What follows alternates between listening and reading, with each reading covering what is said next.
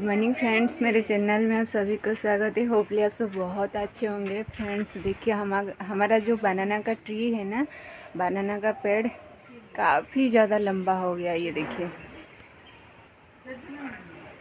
होता है ना जलाने के लिए, इस इलाका जो है वो साफ़ हो रहा है ये देखिए। पूरा इधर ही लकड़ी था ना, इसको निकाल के पूरा बाहर रख दिए है। और पूरा ये इलाका जो साफ़ हो गया है, क्योंकि ज़्यादा दिन लकड़ी रहेगा ना, उसमें सांप वगैरह घुस के रहते हैं। इस वजह से बहुत ज़्यादा डर लगता है। तो शायद एक महीना, दो महीना में ना, इस जो एरिया वो साफ़ होता है। तो देखिए, अभी ये साफ़ हो गया है और ये सब लकड़ी ला के इधर ही रखना है। रखने के बाद मैं दिखाती हूँ फिर कैसे रखे हुए। ऐसे ही रखना है बस। और इधर में बारिश वगैरह होने से पानी का छिटका नहीं लगेगा, इसीलिए इधर ना वो जो मतलब इसको क्या बोलते हैं पता नहीं, हम लोग इसको केरपाल बोलते हैं। ये वाला लगा देते हैं बस, और इधर थोड़ा अच्छा हवा दे रहा है। फूल भी हुआ है, ये देखिए। ये वाला। ये हो रखा है। इधर भी एक ना, हमारा पानी का टेप है, लेकिन लकड़ी रह जाता है ना, इस वजह से पानी का टेप जो है, वो छुप जा रहा है। इधर ये। तो चलिए अभी घर के साइड चलते हैं। और इधर भी एक वॉशरूम है इधर। लेकिन ये यूज़ में नहीं आता है क्योंकि उधर दो दो वॉशरूम हो गया आगे साइड में। तो ये पीछे साइड हो जाता है इस वजह से इसको हम लोग को मतलब बंद करके रखे हुए हैं।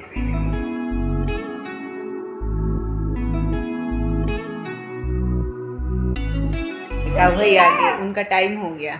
वो आगे। आजा देते। दे, देंगे? এইটি দেবা এইটি দেবা হ্যাঁ এইটি দেবা এই এই এই দেখো এই না देखा दे दिया छोड़ो मुझे छोड़ो ना रागी ना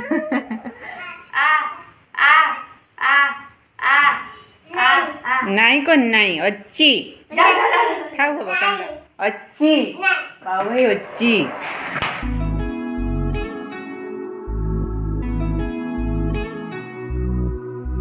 फ्रेंड्स अभी जो मैंने दिखाई, लकड़ी का एरिया में ना थोड़ा नीचे जो है सीमेंट का बोरी और थोड़ा ब्लीचिंग डाल दी क्योंकि ब्लीचिंग डालने से सांप वगैरह नहीं आएँगे, कीड़ा मकोड़ा नहीं रुकेंगे, क्योंकि लकड़ी जो है बहुत ज़्यादा रह जाता है ना, उसका नीचे फिर बिच्छू और सांप, ये चिंटिया वगैरह रहते इस वजह से पहले जो है ब्लीचिंग डाल दिए है और काफ़ी दिन ऐसे ही चल जाएगा।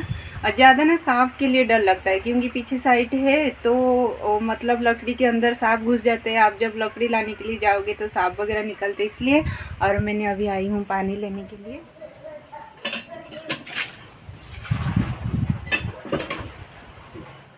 फ्रेंड्स अभी मैं ब्रेकफास्ट बना रही हूँ और ब्रेकफास्ट में ना डोसा बना रही हूँ। मसाला डोसा।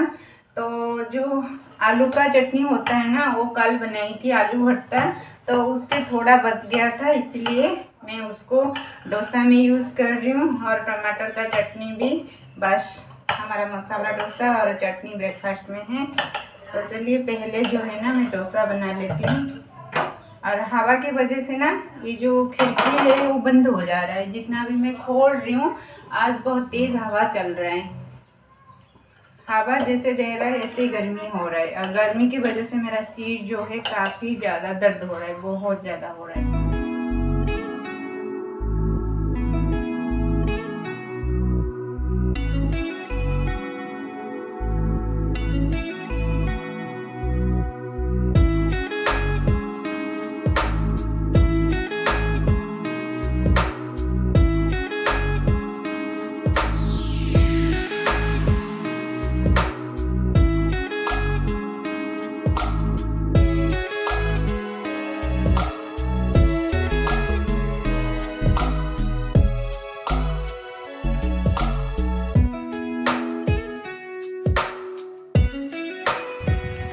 फ्रेंड्स अभी हम माँ बेटो ना छत के ऊपर आए हैं। नीम का कड़ी ना वो तोड़ने के लिए इधर देखिए। इधर ये एक जो उसका इसको क्या बोलते हैं बाबा? क्या? दाल। क्या बोलते हैं इसको? इसको बोलते हैं ब्रांच ब्रांच हाँ। डाली डाली। हाँ। ये ना डली को हम तोड़ के रख के गए थे। और उसका फूल निकालना है। ये हमारा ना ट्रेडिशनल खाना होता है तो मतलब कोई कोई खाते कोई कोई नहीं खाते, क्योंकि नीम का पत्ता ऐसे भी तीता है, करेला जैसे तीता ना, नीम ऐसे ही तीता होता है। लेकिन इसका एक सीज़न होता है। जिस टाइम ये फूल आता है ना, ये फूल में हम लोग सब्ज़ी भी बनाते हैं, पकौड़ा बना के खाते हैं। लेकिन वो जो तीता लगता है, वो भी अच्छा लगता है। करेला जैसा अच्छा लगता है ना इसे अच्छा लगता है। तो हम, माँ बेटो अभी दोनों हम ना, इसका जो फूल है इसी में तोड़ तोड़ के रखेंगे। आज तो नहीं बनाऊँगी इसको कल बनाऊँगी लेकिन आज इसको साफ़ सुथरा करके फ्रिज में डाल दूँगी फिर जब कल बनाना है कल।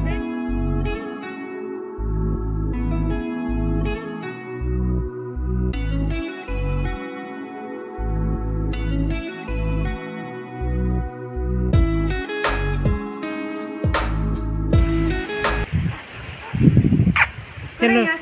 नीचे लेके जाते क्योंकि इधर ना मतलब धूप हो रहा है बैठना मुश्किल है। नीचे फेंक देता हूँ। हाँ। चलो। ये फूल निकल जा रहा है। हाँ? फूल निकल जा रहा है। अच्छा आइडिया है वो हैं? फूल उठाते जाइए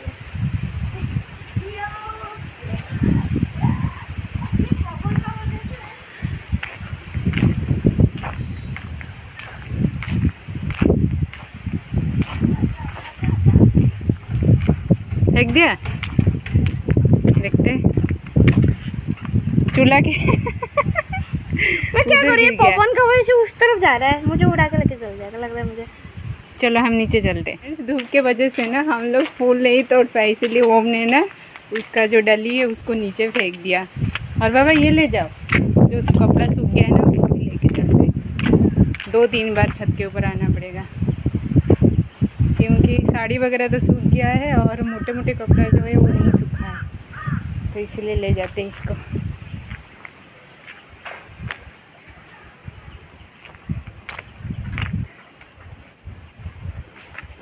फ्रेंड्स हम माँ बेटो दोनों फूल नहीं तोड़ पाए, इसीलिए डॉली को नीचे फेंक के नीचे आ गए धूप के वजह से ना बैठा नहीं जा रहा था और सुबह मैं देखा रही थी जहाँ पे हमारा लकड़ी था, उस एरिया देखिए साफ़ करके जितना सारा लकड़ी था उसको हम भर लिए हैं। और जब लकड़ी इधर उधर होके था, लग रहा था बहुत ज़्यादा लकड़ी है, लेकिन अभी साफ़ हो गया तो थोड़ा सा ही लग रहा है। तो अभी देखिए बकेट में धुल, धुला रही हूँ, पानी भर लूँगी। फ्रेंड्स दो तीन से पानी का बकेट जो है नहीं धुलाई थी। मैं सोच रही थी बकेट से पानी ख़त्म होने के बाद उसको अच्छा से साफ़ करके पानी भरूँगी। जैसे थोड़ा सा पानी ख़त्म हो जा रहा था, मम्मी जी फिर पानी भर के रख लेते थे, फिर पापा जी देखते थे पानी नहीं है तो वो भी भर के रख लेते थे। इस वजह से ना बकेट जो है मैं नहीं धुला पाती थी। आज मैंने सोचा नहीं, पहले जो है ना लंच बनाने से पहले ये काम कर लेती हूँ, नहीं तो फिर ना कोई पानी भर के रख लेंगे तो बकेट साफ़ करना मुश्किल हो जाएगा मेरे लिए। तो लंच का टाइम भी फ्रेंड्स हो गया है और आज थोड़ा इधर उधर काम करते करते मुझे लेट हो गया है और मम्मी जी इधर बैठ के सब्ज़ी काट रहे हैं और मैं आज ना परवल, आलू, सोयाबीन को मिक्स करके सब्ज़ी बना रही हूँ। बहुत ज़्यादा टेस्टी लगता है। तो पहले परवल और आलू को ना अलग अलग करके नमक, हल्दी डाल के मैंने फ्राई करके निकाल दिया हूँ और अभी सोयाबीन को थोड़ा सा बस तेल डाल के उसमें भी नमक, हल्दी बराबर डाल के फ्राई करना है क्योंकि तीनों चीज़ में थोड़ा थोड़ा सा नमक और हल्दी डाल के हम फ्राई करेंगे तो बहुत अच्छा लगेगा फ्रेंड्स अभी देखिए दो ठो तेज़पत्ता डाल दिया अदरक लहसुन का पेस्ट अभी मैंने जो है वो प्याज पेस्ट डाल दूँ ऐसे ही तरीके से आप बनाइए बहुत अच्छा लगता है। जय मेरा बाबा का मेरा कुछ ठीक नहीं है। भाई का सब कुछ ठीक है। बाबा हाय करो। हाय करो। हाय हमारा इधर सब्ज़ी बन रहा है और मैं यहाँ मस्ती चल पर रहा है। मैं यहाँ पर टेस्ट करने के लिए बैठा मस्ती चल रहा है क्या टेस्ट करना है? आप जो जो डिश बनाओगे वो सब मैं टेस्ट करने वाला हूँ। वो भी एक भर के एक कटोरी लूँगा। पूरा एक कटोरी भर के पढ़ाई नहीं है सिर्फ़ ना जो ए जो मम्मा नेवड़ा ने बनाई जय है, नेवड़ा नेवड़ा कभी कभी मेरा मन में ये आता है मेरा समझ में बिल्कुल नहीं आ रहा है ससुराल जो है वो अपना है या पराया है? अगर आप लोग का समझ में है तो प्लीज़ मुझे कमेंट्स करके बताइएगा। थैंक यू आगे किस करी भाई को? भाई बड़े किस कर दी जिस टाइम में मैं आप लोग को दिखा रही थी लकड़ी हमारा कहाँ पे रहता है और हम कैसे साफ़ सफ़ाई करते वो सारे चीज़ ना मैं जब शूट कर रही थी तब ओ माँ के मुझे बार बार बोल रहा था मामा जी ये सारे चीज़ मत दिखाओ अच्छा नहीं लग रहा है। तो मैंने उसको समझा दिया बेटा ये हमारा खुद का घर का काम है हम कैसे रहते क्या करते हैं क्या क्या घर पर काम करते वो सारे चीज़ मैं शेयर कर रही हूँ। इसमें क्यों शर्म करना है? क्योंकि हम तो काम कर रहे हैं ना चोरी तो नहीं कर रहे और मेरा ब्लॉग में कोई दिखावट नहीं है। मेरा रियल लाइफ में जो जो हो रहा है और रियल लाइफ में मैं क्या काम करती हूँ, वो सारी चीज़ आप लोग को दिखा रही हूँ शेयर कर रही हूँ और काफ़ी फ्रेंड्स को मेरा रियल लाइफ जो है बहुत बहुत ज़्यादा अच्छा लग रहा है। इसीलिए ना मुझे बहुत इंटरेस्ट आता है मैं क्या कर रही हूँ, क्या नहीं कर रही वो सारी चीज़ शेयर करने के लिए। सिर्फ़ तीन ही पेंट जो है डाल के गई थी जय का उनका। ये। हाँ सूख गया है। सूख गया है। तो चलिए फ्रेंड्स आज ना और ब्लॉग कंटिन्यू नहीं कर पाऊँगी। काम भी ज़्यादा हो गया, थोड़ा टायर्ड लग रहा है। लंच खाने के बाद थोड़ा टाइम सो जाऊँगी तो मुझे अच्छा लगेगा। तो चलिए फ्रेंड्स आज का ब्लॉग यहीं पेंट करती हूँ। नेक्स्ट ब्लॉग में मिलूँगी। और आज का ब्लॉग अगर आप लोग का अच्छा लग रहा है तो प्लीज़ एक लाइक क्या कीजिए शेयर कीजिए कमेंट देने के लिए मत भूलिए। और आप लोग ना कैसे मतलब को ब्लॉग देखने के लिए पसंद करते हो? मुझे जो मतलब कमेंट्स करके बताइए। बताने से मैं वही ब्लॉग ना बनाने के लिए कोशिश करूँगी। तो चलिए, रहती हूँ। Bye bye